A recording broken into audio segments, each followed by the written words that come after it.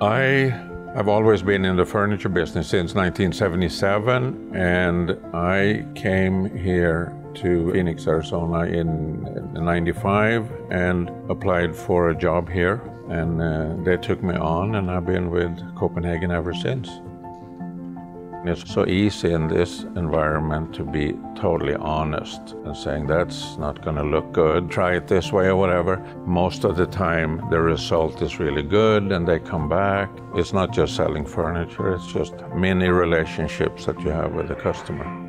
What an employee can expect by coming to Copenhagen is to have the resources available to really hone their craft. If you're into furniture and, and, and contemporary design and interior design, this is a place where you have endless resources.